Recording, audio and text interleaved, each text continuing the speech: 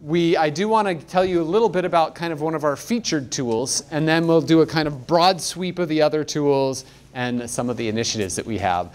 So um, the one that I want to tell you about that's kind of our featured tool is actually a smartphone app that we've developed and are continuing to develop. It's called Leadership Amplifier. And the point of this app is to put people into communities of learning together. Uh, so let me give you some uh, demonstrations real quick. Uh, the thing that drives us, I guess I should have done this slide next, is what happens when communities of learners practice acquiring moral insight together, giving each other feedback and reporting on how their leadership attempts go. So you may be familiar with the typical feedback basis of learning. So if, uh, let's say, if you practice the piano or learn to play a sport or you know whatever it is, you can, if you're like me when my mother tried to get me to learn the piano, I would do the same thing over and over again and not get better because repetition is not practice. Practice requires doing something, reflecting on how it went, making a plan to do it differently, and then doing it different and better the next time around. That's what makes it practice, and that's what creates the learning. So, what happens when you not only engage in a feedback learning process of practicing leadership, but you also do it with other people where you can take ideas from their attempts and use them in your own and they can take ideas from yours. And when you actually come up with your plans you can get feedback from people who say you know you might want to try doing this instead or that instead. That's the principle that we built the leadership amplifier app off of. And so you can actually if you wanted to you could do it right now while we're talking about it. Go to the app store or google play on yours and try it out. Um, it's available. So uh, all of our teaching tools are free except for this one, and this one uh, is a free trial, and it's like uh, $2 per seat per month as a subscription for using, and that's because it costs us money to like actually run the um, servers and stuff that go behind this and, and so forth. And so, uh, but the free trial is free on the app. And on this one, um, what you can do is you can download it, you do a quick registry, and then my recommendation is that if you do do this today here in this session, you'll notice there's three options once you log in. One is just to try it out. Two is to join an existing community. Three is to create a community of your own. And so I recommend trying it out first and before you actually you know, run a, a start running communities or try to join them or whatever else. Um, what you'll see here, this is the home page. And these little rectangles here are the um, plans that people have submitted that they are practicing their leadership with. You could click on those and uh, give feedback or get ideas from other people's plans. The green button on the bottom is how you start your own plan. There's menus to navigate at the bottom so you can look at uh, the community's plans or you can uh, manage your own plans or you can look at the notifications you've received. There's point systems and, and levels that you can earn in an attempt to gamify the process. And um, there's also just for administrating the communities are the things up at top. So you can click on this and manage your, the little icon on the left side at the top, and that manages your personal profile. You can click on the name of the community, and it will take you to a list of communities, and you can go in and manage your communities from there as you work on the app. The personal profile tells you, you know, how many plans you've made, how much advice you've given, how many points you've earned, what level you're at. You can even dive in further. There's a gear symbol up here that lets you edit your username or your photo and personalize it and make it your own. Maybe create an avatar or whatever you want to do to have fun with it. Sometimes when I do this with uh, uh, various classes, they'll put in like superhero names or jet fighter pilot names into their usernames, and they get very creative. In fact, I, I did it once with an MBA class and there was a guy in the class who just was a super fun guy with just kind of a, um, a, a different personality from everybody else. And his name was Hex. And so everybody in the class used some variation of the word Hex in their nickname for the entire class. They all like conspired to do it together. And Hex had a good sense of humor, so you know went along with it. But there, there's various ways people have fun with it. Um, and then uh, let me move on from here what happens is the main functionality is in the building and the using of the plans. Of, so we plan an event where I'm going to practice leadership. It actually syncs into your calendar, so you can choose an event that you already have, or you can choose to create an event if there isn't one in your calendar. And then in that event, how am I going to practice leadership? And so you'll select what virtue am I going to practice and how am I going to make that excellent? It also asks, who do you have in mind? So like if, as I use in my earlier example, like I do compassion and you guys are inspired, but she thinks that's ridiculous, that's not compassion. What it does is it breaks the uh, groups or individuals up so you can actually think, what would it look like for this person and make sure that I'm really trying to exhibit leadership for everyone involved, not just what I think it is in this particular moment. Um, so all of these questions for that, it, uh, asks you, it asks you how you're going to inspire people. The point of this is to take activities in which you might not normally have thought about those virtues and think about them as a way of generating moral insight and uh, to do it together in a community of learners. So um, that is a brief intro. Like I said, we're not going as deeply into the other tools as we uh, did into the first one. We wanted the first one we just wanted to show you an example of what it was. But um, we think that this is exciting. We continue to develop and try to improve the app and make it better. Let me pause there. I'm going to talk more about making it better in a minute. But any questions or comments about the app before we move on? Ryan, how, are you using it? Like a, a team yeah, so in a corporate setting, the way we would do it, there's a couple of ways. One is like, let's say I manage a unit or a team in the organization. We could say, hey, let's work on this together. And in that case, as long as you know people understand the concept of, of the leadership, you could just do it and make it part of how we function as a unit, a team, you know, whatever group it is that we want to have a community in. There's also, and one of the reasons, like a lot of the people that we sought out to invite to this event were HR people, corporate trainers, you know, whatever else, is because you can create a community out of a classroom. So, for example, right now, we're running, this is Manuela Perry from Executive Education at the uh, University of Louisville College of Business. And we have an executive education class going right now. Uh, yesterday was our fifth class. Normally in executive education, you bring everybody in, you fly them in for three days or whatever it is, and you just stay in the hotel and you go through the training for three days. But in this uh, class that we're doing, we actually break it up and you come once a week for a morning uh, for six weeks. And the reason why we do it that way is so that in between the training, you actually practice what it is we're learning in the training. We use Leadership Amplifier to help people. All right, this week we're going to work on courage. All right, pick your events, make the plans, respond to each other, and we do that in between the training events. Um, so those are a couple of ways that, that it can be used. Any other questions or thoughts? Yeah, Vivian. Oh, I'm sorry. You first going to have a comment, but uh, I was just going to share some of my experience, having, having taught um, with Ryan and using that with my MBA course.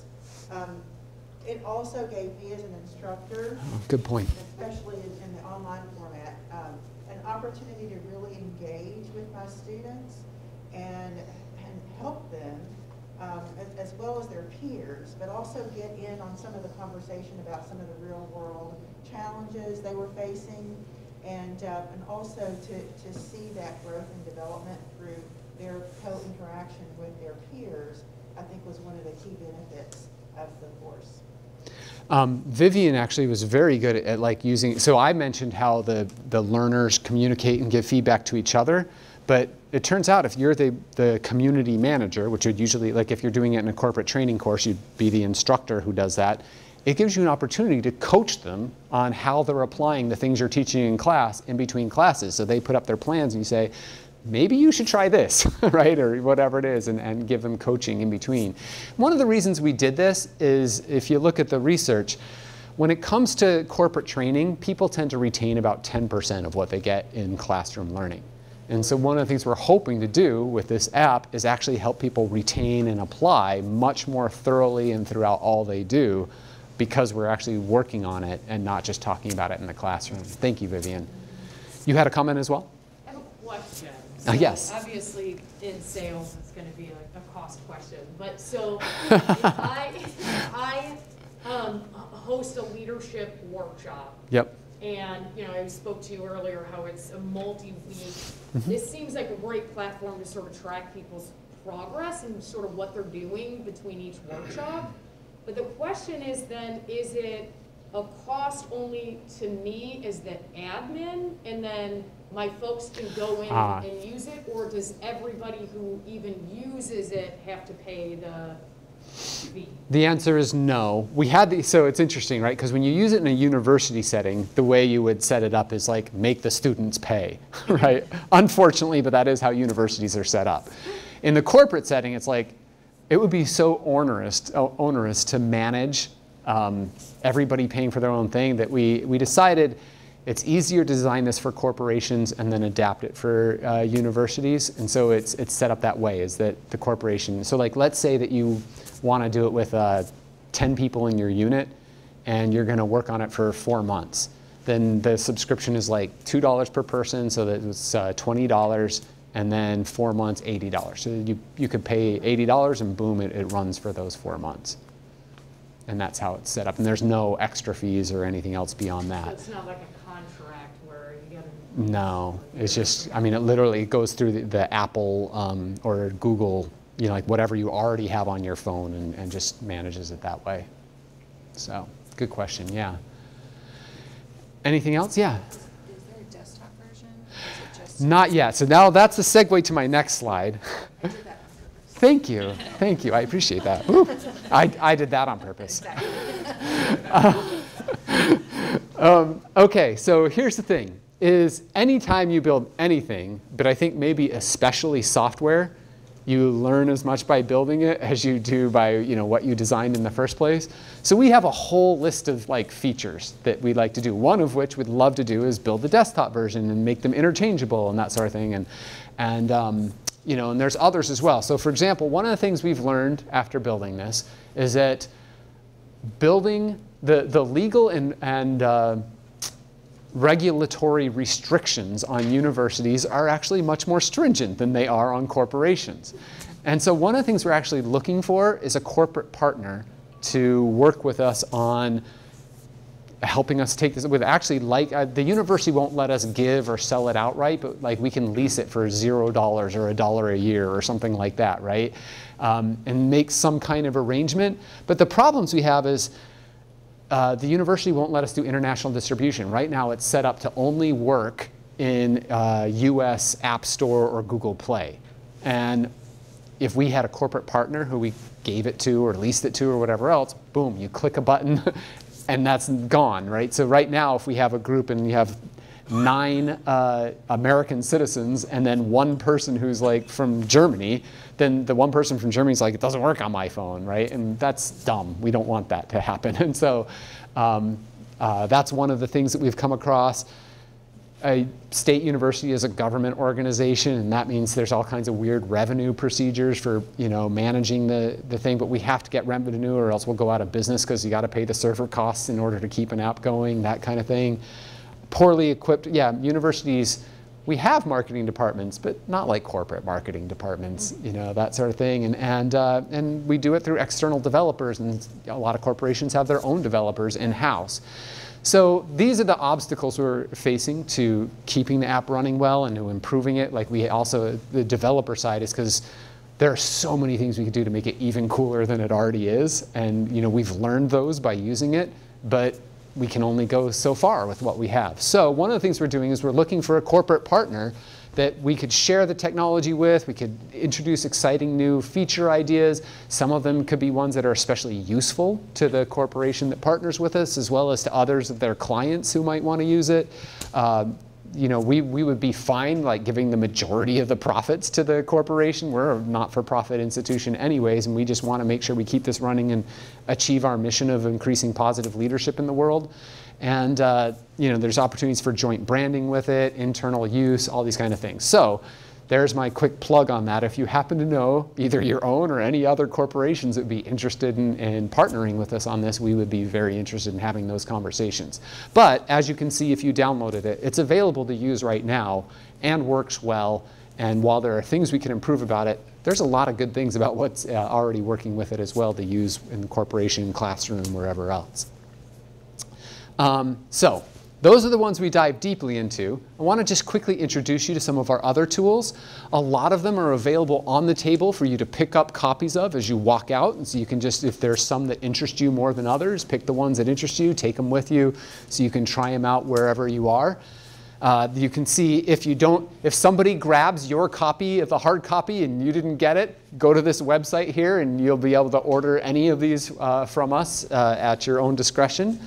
But um, you'll see there's multiple types of stuff we have. So for example, learning activities. There's the management team conflict role play, the structured ethical reflection, the core stories exercise. All of these are things like just on this last one, the core stories exercise if we're going to be working on exhibiting compassion with excellence, then you need to understand empathy. And this gives you a visceral, practical experience in the classroom to understand it in a way that then when I go out during the week and practice my leadership, there, um, it's, it's real to me in terms of what I see I can do with this and, and how it applies. There are uh, Virtues and Vices story series. So I've been teaching some version of this kind of stuff for over a decade now. And one of the advantages of, of teaching it the way I do is I've had a million students from the executive level down to the undergraduate who goes out and tries to apply this and has, in some cases, some really uh, stunning stories. And in other cases, like tried hard and it didn't work or, you know, whatever else. And many of them have given us permission to use their stories and they're great for teaching. But they're slightly different from your normal case study normal case study is, you know, here's a business problem, you get to the end, what should we do? We talk about it. And we have some of those in terms of, you can see the case studies there. Um, but these are actually deep explorations of what it means to exhibit virtues with excellence or to try and fail to exhibit them with excellence and to think, how does this compare to your experience? What would it look like if you tried to do this in your organization? How would you do it differently from this person?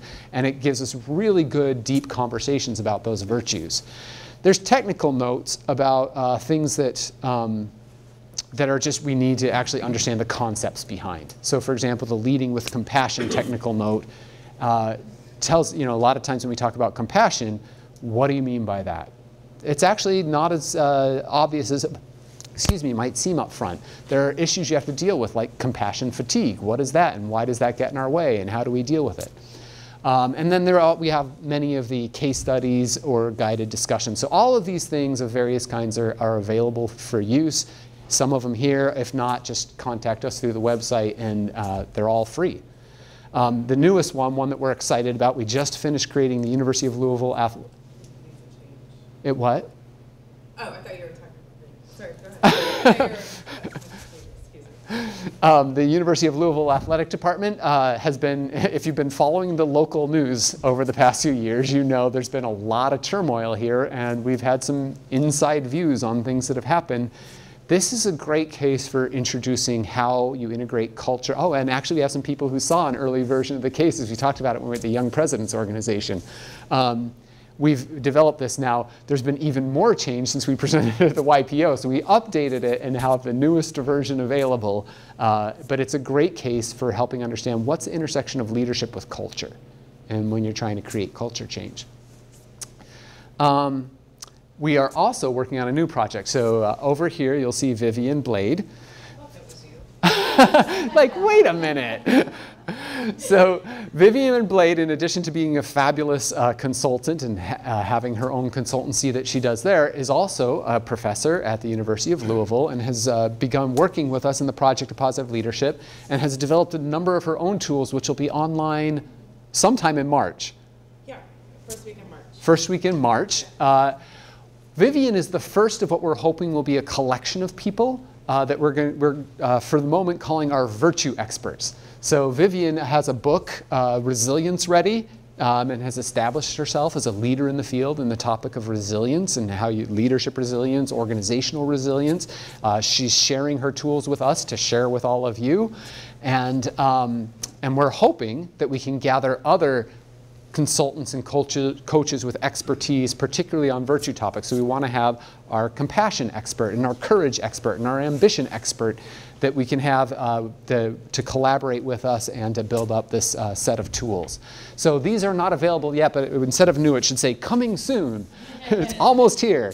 Um, but you can also, in, in this case, you can visit her, her uh, website, uh, vivianblade.com, and find lots of stuff there as well. Um, and if you know other uh, consultants, coaches, people who are experts on particular virtues, let us know because we're trying to gather these people and, and make them part of the project on positive leadership. Um, so, who else do you know who could be a virtue expert? And then the other thing is, those of you who are not coming from the consultancy side of the world, but from organizations, uh, if you would love, we would love to partner with you to help make tools. So, like for example, there may be a, a police department case study that you think would be useful, or if we were partnering with you for um, instruction and case studies, we could say, all right, well, what specific things that we can make to help you in your instruction in what you're doing that we could also you know, use as tools that we help to spread positive leadership in the world. And so if there's uh, ways to collaborate with corporations around building tools as well, we're also interested in, in exploring those opportunities. Um, so let me pause there. Those are our, uh, just kind of an overview of tools for our, our tool showcase. Um, I'm going to talk about initiatives that we're doing as well as in a moment, but any other questions about the tools that we offer to the world? No? All are free except for the Leadership Amplifier has a subscription, and everything else is free. So, um, you know, eventually we're going to have to figure out how we uh, make long-term funding for the department, uh, for the Project on Positive Leadership work. But you know, we're starting with the hey, let's make the world better, and then we'll figure out the funding after that. And that's uh, maybe a risky way to approach it, but that's that's how we've decided we're going to try to approach it. And honestly, with the generous help. Um, Vince Tyra, uh, who was the athletic director until uh, December, arranged for us to help get the initial funding to get this started. And so that's, that's where a lot of this is coming from. All right, for other initiatives, there are lots of things we do. One of them is the Tyra Family Distinguished Conversations uh, series. And we're trying to do something a little different here. A lot of times there are speaker series and people come in and give a talk and take off. But we actually think that we're going to increase positive leadership more in the world through conversations, you know, doesn't mean people can't give talks, but through conversations where we engage people uh, around topics of positive leadership. So Bob Liden is one of the world's experts on servant leadership. He's coming in to do a research presentation next month. And uh, we're planning events for next year as well. We'd like to mix up uh, the corporate executives that we bring in to speak versus um, uh, academic inst uh, instructors, and so that way we get both types of experience and expertise in what we bring in. And if uh, we bring people into the Tyra Family Conversation uh, series that people from our community want to meet with and talk to, that's what we're doing. Yeah, we want them to meet with faculty. We want them to meet with students. We want to meet the, them to meet with our uh, constituencies outside the university. We want to have more conversations about positive leadership. um, one of the things that we're curious about is if this showcase is useful, would it be useful to have other showcases to show you the tools, both the ones we already have and the ones we're continuing to develop? Should we have a virtue expert like Vivian actually come in and, and specifically showcase her tools? Uh, what, what should we do in terms of future ones? So there's a QR code, and if, if uh, you're willing and able, would love to get your feedback on both this event and what we could do moving forward that's helpful to you and to others in the community. Um, another initiative that we have, and here's another QR code, um, we want to honor leadership. However, we want to do it in a way that's a little bit non-traditional compared to normal things. We don't want to say, oh, so-and-so is such a great leader. We want to find out what are the acts of amazing leadership that you've seen in the business world, in the community, wherever else. And we want to honor those acts. Because remember, we define leadership as beginning with acts of exceptional virtue that other people choose to follow because of the uh, other praising emotions they feel. So if you know of great acts of leadership, then please you know, click on this QR code and tell us about it in the form there, and we're going to find ways to honor these people because another way to spread positive leadership in the world is to reinforce it and let people know. Yeah, Remy. Um, we also have postcards out on the table with that QR code. If you want to take some back to your organization, hand them out to people. Your organization can also nominate or honor leadership as well. So feel free to take those postcards. Absolutely, thank you. Uh, we also do, as I mentioned earlier, we partner with executive education, um, and some of these things uh, we do in both the uh, project on positive leadership and executive education. So we mentioned that there's currently a certificate program going on. We actually do these certificate programs four times a year around different virtues. So uh, right now we're working on people-centered virtues and we're uh, focusing on um, ins uh, inspiring profound collaboration. Starting in April, we're going to talk about leading adaptation and focus on virtues that have to do with adaptation. And then in the summer, there will be another one, in the fall, another one, and they'll be organized around different virtues. And so uh, they also are, you can earn certificates for attending them, and you can earn a, um, the, uh, what's the phrase? Um, Is it attestation? Yes, an attestation of, um. Of mastery. Attestation of mastery if you earn all four certificates. Uh, so we're working on that, you can see. What? It's like a badge. Like a badge, yes, exactly. Online it is also, right? Uh, you, yes, you can do that. Mhm. That's correct. Uh, also, we have a big event coming up next month, the Navigating Leadership Now conference, and so there'll be a lot of speakers uh, that'll be participating in that. It'll be a day-long event, kind of a TED Talk style event uh, that talks about what does leadership look like in the new normal of where we are now. Are we, as we're thinking we might or might not be approaching the end of COVID and all the kind of crazy things that have been going on? It's, that'll be actually probably the two year anniversary of when most of us went into quarantine the first time. Um, and so we're going to ha- be having that conference and, and talking about that all day with uh, other executives. It'll be hosted as well. So um, we're also have a research incubator. We've identified the various people around the University of Louisville who study diversity, equity, and inclusion. And we're exploring with them what happens when positive leadership meets diversity and equ- equity and inclusion, and what research should this inspire, and how can the Project on Positive Leadership support this research? And so, and actually, not just University of Louisville, we even have one of our participants comes from Bal- Spalding uh, University as well. So that one is in its infancy. We're trying to figure out, you know, how to make it continue to grow and succeed. Uh, we also every year we provide grants or fellowships for, and this is not just for academics, but also for uh, people in the field to either. It's like a $5,000 grant to either do research on positive leadership or develop new instructional tools that you need money to help you support develop those tools and that's open to anyone in the world who wants to apply for them. Uh, this year, we actually are funding one from Israel, so uh, literally anywhere in the world. And uh, then also another thing we're doing is we're working on assembling a board of advisors for the project on positive leadership to provide help us with our strategic direction and, and give us participation in the community.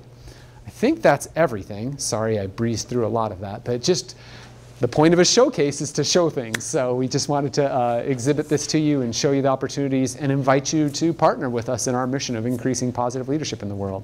So uh, I'll take any questions, and then after that, we'll set you free for the rest of your day. Any any questions before we move on? Uh, When, what's the evolution to a center? Ah, thank you. So uh, it's the reason we call it the Project on Positive Leadership is because we're already doing things, um, and we needed some entity. But uh, we're actually have an application into the central administration in the university to turn it into the Center on Positive Leadership, uh, and so that happens as fast as the faculty senate lets us do it. Uh, if you felt like that was tongue in cheek, it was, and. So my guess is, is earliest would be the end of this academic year. Latest would be sometime in the fall, most likely, when we turn from the Project on Positive Leadership into the Center for Positive Leadership. Thanks. Any other questions? Yeah. I want to say I think you did a very good job this morning because there's so many other things that go into it as an introduction to the moral insight. If this was a true module, how long, how much time would be spent on it? Good question. Most of our tools are designed to happen in like an hour and 15 minutes. Um, so what you could do is treat it modularly, either combining with stuff you're already using or combining the tools that we have.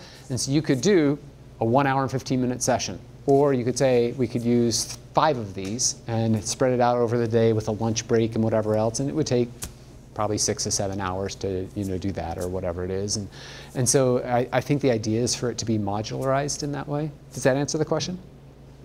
Okay. Any others? All right. Oh yes.